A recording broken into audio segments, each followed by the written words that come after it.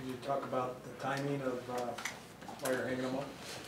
Uh, yeah, I, I just, I mean, I've been playing longer than I think anyone thought I would. My body retired in 2009, but I think my heart just finally can't propel myself to, to play anymore. I took a nasty hit in indoor for the Mammoth this year and got a concussion, and the risk of trying to come back would, is just it's not worth it. I get a family here and a job at Valor Christian, and I just can't can't risk it again.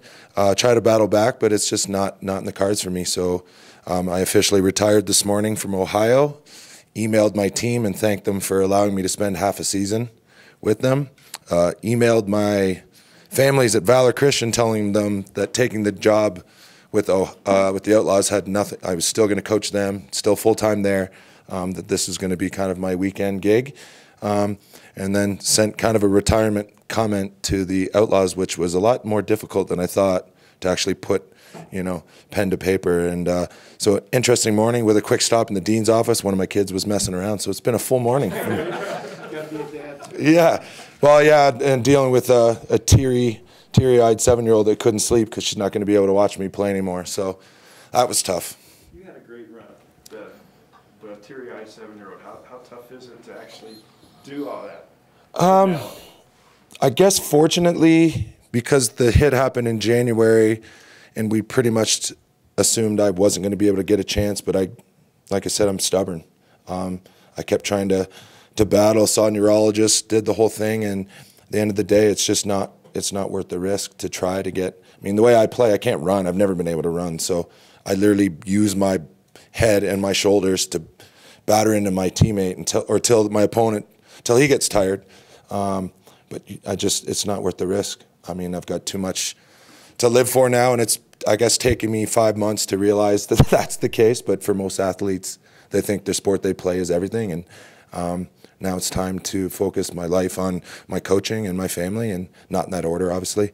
Um, so yeah, I've had some time to process this. So when it finally hit, obviously it's tough, but um, you know I'm in a really good place, and you know I'm blessed to have the job at Valor and to be able to come and coach the game I love in the town that I now call home with the team I spent a couple years with and actually won a championship with in 14.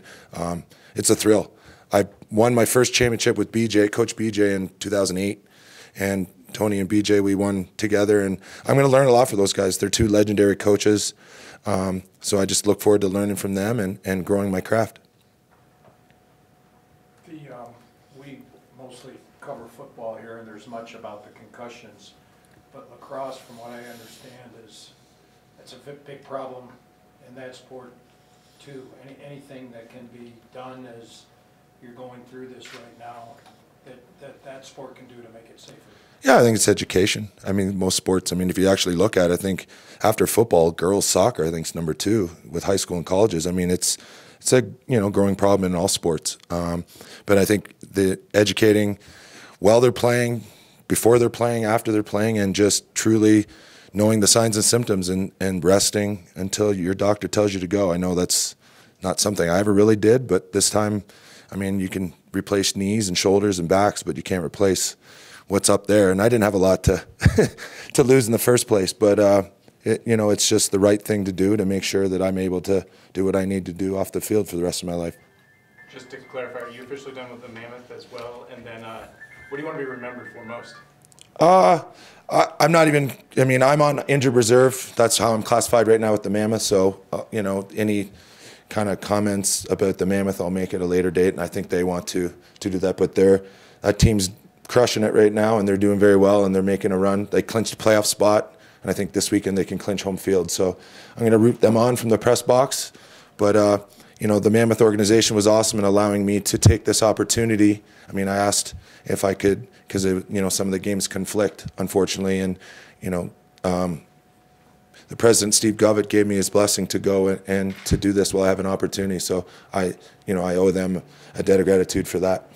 Second part, what do you want to be remembered for most? Do you think? Um, I don't know. I, I mean, I just love this game. I've been playing literally since I was in diapers, and you know, I'm 42 now, so that you know, 40, 39 years ago, I picked up my dad's stick and started smacking people with it, and I followed him around. He played professionally, and it's all I've ever done. Um, it's afforded me trips around the world. I got a full scholarship to the University of Delaware and got a degree because of lacrosse. I've been able to make a home here in Denver, which is unbelievable. So I owe the game a lot, and I want to continue to give back. And you know, I felt a calling to do the coaching years ago, and, and coaching at the high school level is a great way to do this. But this opportunity to coach with the Outlaws, I'm going to be coaching the best players in the world. For me to have that opportunity to grow my coaching career with, with as I don't want to say it, the reigning world champions, um, it's, it's going to be just an absolute thrill to be able to still continue to be in the professional game, but just not on the field. It's awesome. What has it meant to you to, to grow the game here in the time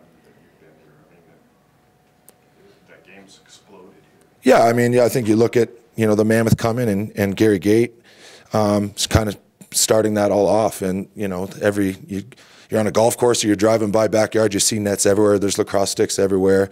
I mean, DU, you know, one of the top programs in the NCAA, and the Outlaws, literally were the best team in the league, regular season team in the league since they came. You know, now two championships. You know, it's hard to say there's a better area of lacrosse being played in the country. And obviously, it's an awesome place to live, which is another bonus. But I hope, you know, with being able to play indoor and outdoor here, that I was able to help grow the game a little bit. And I hope to continue doing that um, from behind the bench. But on a bigger level, from when you started playing 39 years ago, you talk about your dad playing professionally. I guess how satisfying is it to see the growth, not just in Denver Colorado, but worldwide? Oh, yeah, for me, I mean, I grew up, there wasn't really professional lacrosse. It was, wasn't like an aspiration of mine to grow up and, hey, I'm going to play pro lacrosse. My dad played, but the league went away for 20, 30 years. You know, once, like every Canadian, you realize you're not good enough to play in the NHL. You know, I had a, a sport to, to fall back on, and I fell on that kind of late. I actually started our field lacrosse team at, at the high school I went to in 11th grade and kind of learned and went the hard way through junior college and stuff. And, you know, that's all you were kind of looking for is, you know, help get into a good school and, and hopefully get a job after that. And while I was going through that, the league kind of, indoor league kind of started and grew. And then a year out of college, the outdoor league started. So I literally jumped right into pro lacrosse after college when that wasn't really ever a huge goal. So, I mean, to say I was extremely lucky is, it, I mean, it's just awesome to be able to graduate from school and then live my life in the game, whether it's through endorsements and playing. It's just been a thrill. And now to be able to coach um, for the last three or four years and now professionally, you know, I'm, I'm extremely excited. Joe, what are you gonna miss most playing, like just strapping the helmet on and and going to battle with your with your teammates. I mean, we're it's a different sport, not unlike football. I mean, we we play once a week, um, you know, but you you don't. For us, we don't really see each other that much. Guys are kind of scattered all over and doing their thing and working. You get together Friday, you kind of beat on each other for an hour and a half, go to dinner, wake up in the morning, do it again, and then you go play another team, and then you literally high five after a win or high five after a loss, and you fly back to real life. It's um, but just actually playing the game. Like I know there was a comment today that uh, Coach John Cohen. I think I'm going to take the warm up the goalie responsibility from him because I do still enjoy shooting, and I don't really have to run to do that. But uh, just playing. I mean, I love everything about the game, the artistry. You know, obviously the the hitting and just the camaraderie. But I mean, guys go to war with each other, and it's it's pretty cool. Especially guys that literally have to wake up Mondays and clean a sheet of ice at a hockey rink or teach or firefight or whatever they do. Um, it's just a special thing to be a part of. What do you think needs to happen in the sport for it to take that next step where guys don't have to be working second jobs and teams can be together all week and, and practicing and that sort of thing?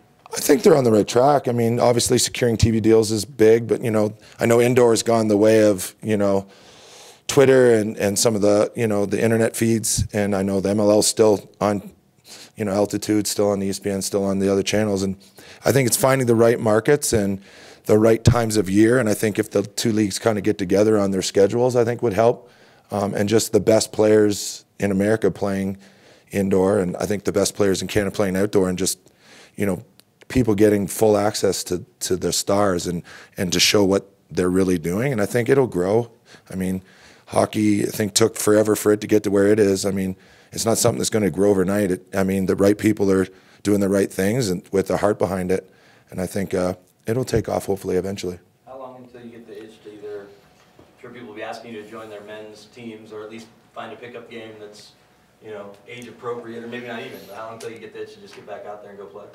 To be quite honest, I'll, I'll be looking for a knee replacement probably with year's end. So uh, I, I'm done playing. I, I mean, even in men's league, those things get pretty aggressive. So I'm thinking golf. I probably won't get hit in the head on the golf course unless I'm playing with uh, a guy with a really bad slice. But you know, I'm going to focus on like I'm really obsessed with lacrosse, so I'm doing everything I can to help my young guys, mentor them, you know, game film for them, and now to do the same thing with the pro guys. I I'm still going to spend, if not more time in the game of lacrosse. I just won't be actually running around in excruciating pain all the time. You mentioned the um, conversation with your seven-year-old got a little teary-eyed. How did, what did that conversation look like? Well, she, we went to dinner. She actually had a lacrosse practice in Littleton, which I've been trying for seven years to get her to do. Um, but right after practice, she threw her stick down, started doing cartwheels. I said, no, no, no gymnastics on the lacrosse field. So we went for dinner, and then I kind of told her that I, you know, I wouldn't get to play anymore, but explained to her how, because I know she loved the corral and being on the field for outlaw games. I'm like, you're still going to get to do this and that and run around the field until the custodian chases you off. But she goes, but you're not going to play. And I just said no. So that got tough.